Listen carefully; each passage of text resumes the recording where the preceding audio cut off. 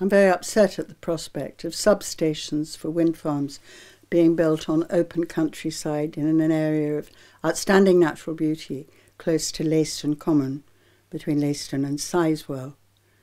Near Leiston, which has a population of 6,000 people odd, many of whom will be living really very close to this site. And wind power is supposed to be a more environmentally friendly alternative.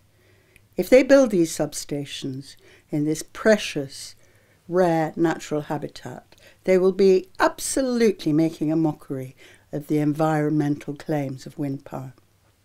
Surely there must be alternative sites on areas which are designated perhaps brownfield sites where these things could be sited rather than corrupting an area which has preserved its natural beauty up till now.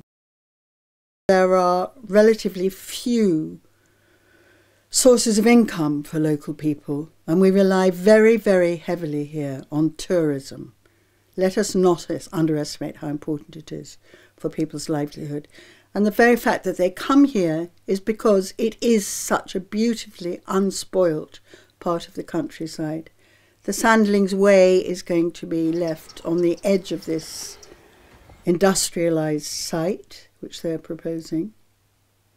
The, uh, the beauty of uh, the coastal Sandlings area is going to be bisected. Tourists won't want to come here if it becomes another urban sprawl. And we should not underestimate how important these things are please go and find another site more appropriate for what you are proposing. The consultation process for the Leiston site, the so called consultation process, is a mockery.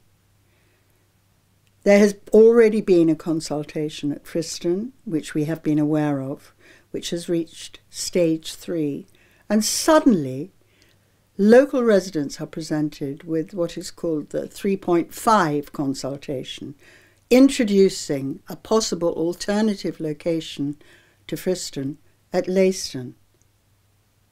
This is completely a travesty. How can they do this?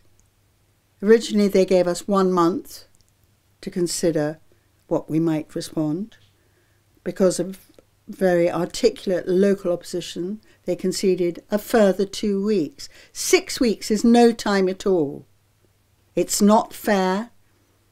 It's uh, corrupt, in my view, not too strong a word. It's unnecessary. It's environmentally insensitive. It makes no commercial sense for local residents and for the tourists who come to the area. And just to speak personally for a moment, it will ruin my life here, which I celebrate because I am privileged to live in this area of outstanding natural beauty, which would be ruined.